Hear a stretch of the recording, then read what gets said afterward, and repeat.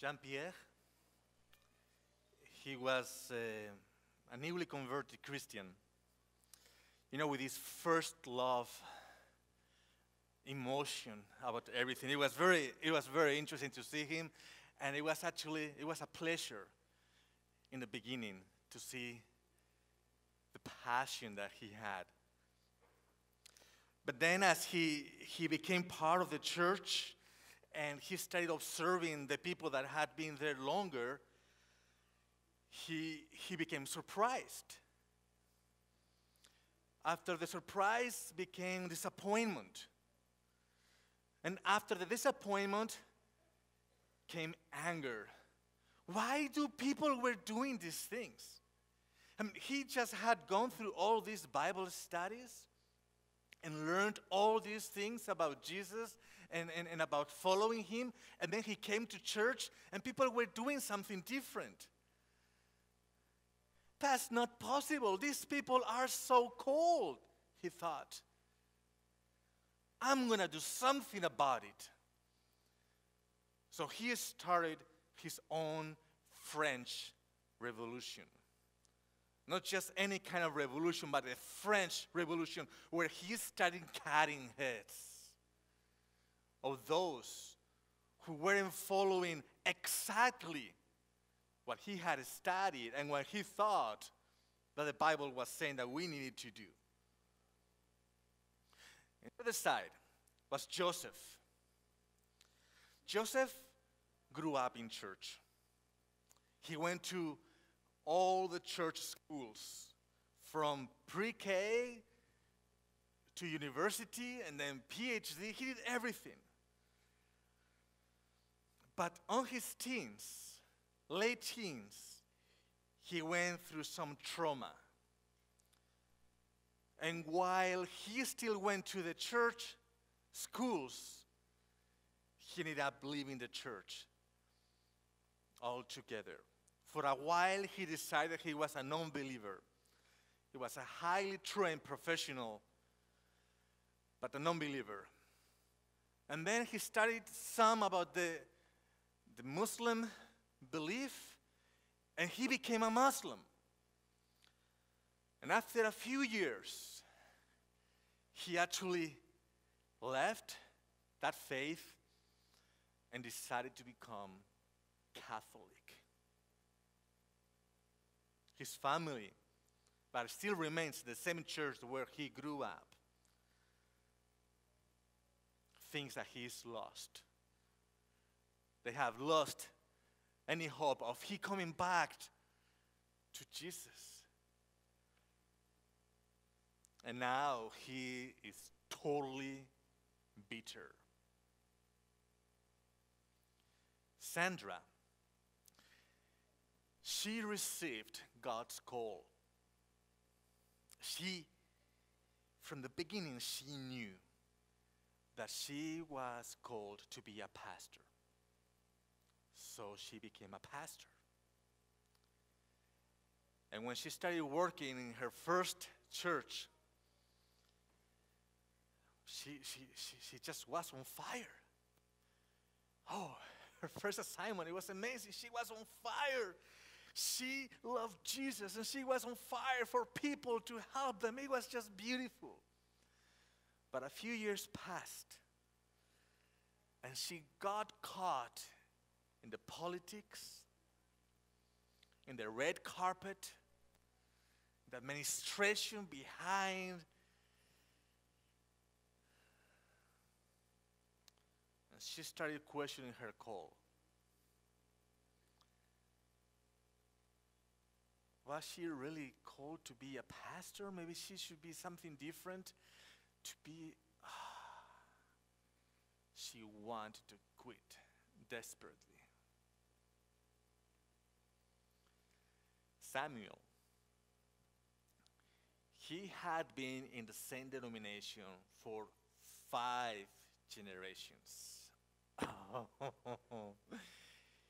Samuel knew absolutely everything from the beginning to the end, from the top to the he, he just knew everything. New pastors came, new people come to church. They all asked him because he knew absolutely everything. His life was there. And there, the church was his whole life. He's got everything figured out. And then comes Rebecca. Oh man, Rebecca. She knows what to say. She's a smart woman. She knows church lingo. And she looks at the church members as members, not church friends, but members as clients, as a network to get what she wants. She's a great manipulator. And somehow they all got in a room. Jean Pierre quickly creates a set of rules to follow. He puts it in a way that is black and white. There is no question. He prints them, he puts them there on the room so everybody can see. It's very clear. But if you don't follow those rules as are posted on the main wall, then he will threaten you to censor you. Oh, yes, you go to censorship and you don't follow this. Then Joseph, the one that was bitter, shows signs of PTSD, post traumatic syndrome disorder. He doesn't know what to do. He doesn't know how to deal with these people because he's enclosed in this room. So, what he does is he sits on the floor, right on the corner. He closes his eyes and wait for it, whatever it is, to please pass. Samuel, the one that had been in church for five, no, it was the five, fifth generation in the same denomination. He thinks, okay, if I just try harder, I will make things work here. I just need to work harder. And he puts a smile. He knows how to do that. He does that every every Saturday at church. He puts up a smile and says happy Sabbath to everybody and to Joseph, the one who is at the corner sitting on the floor. He just totally ignores his tears, but he says happy Sabbath. And nods at Jean Pierre, the one who writes the rules, and he's still talking. He just, he just smiles and, and nods. Rebecca,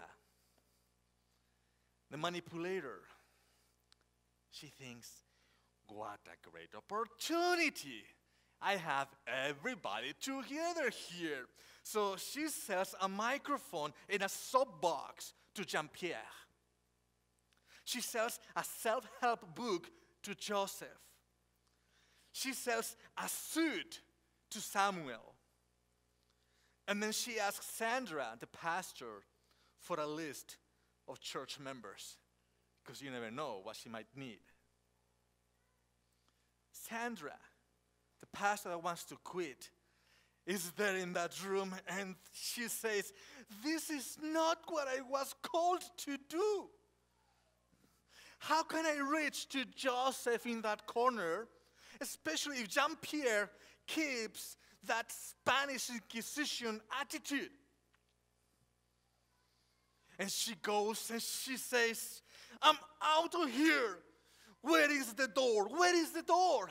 She finds the door, and as she opens the door, she sees Jesus that is passing by outside, holding his cross on the shoulder on the way to the Calvary.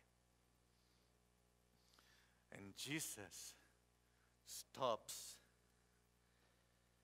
and looks at them, these five people inside the, inside the room.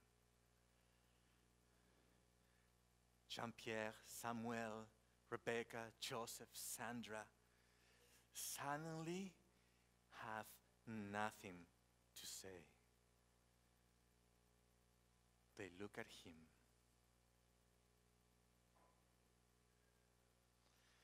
And those eyes,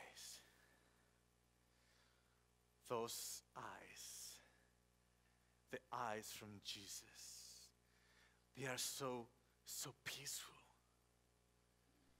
so loving, so non judgmental.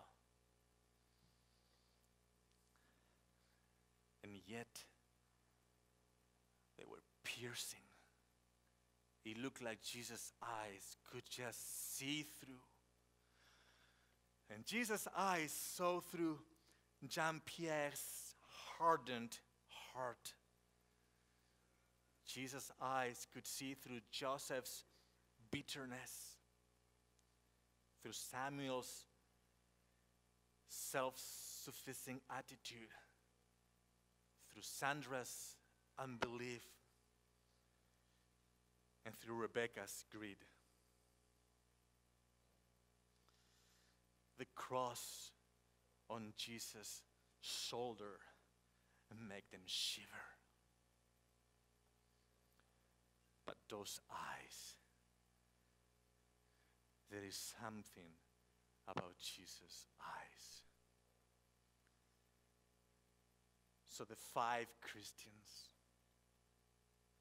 the four plus one, the five actually follow him to a nearby mountain.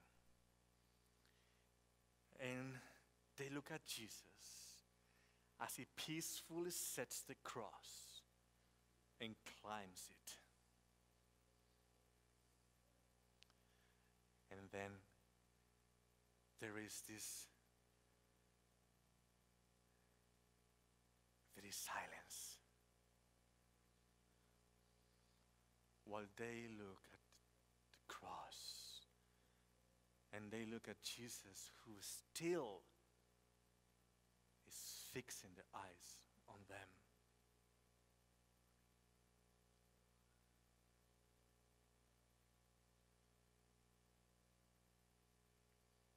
Rebecca stops selling, trying to sell people and to people.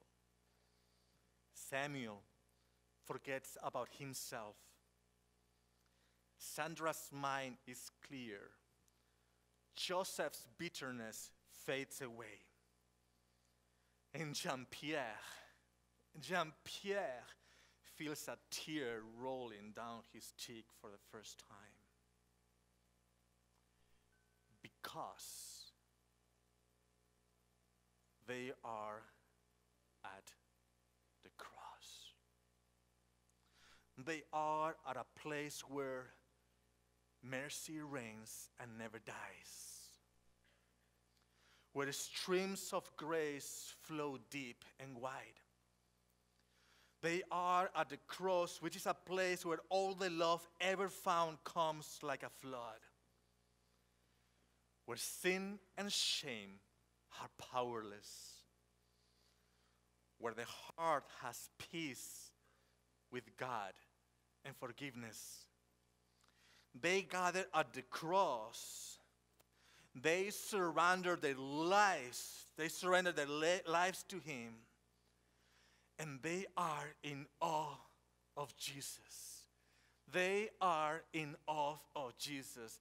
And that, that is all that matters.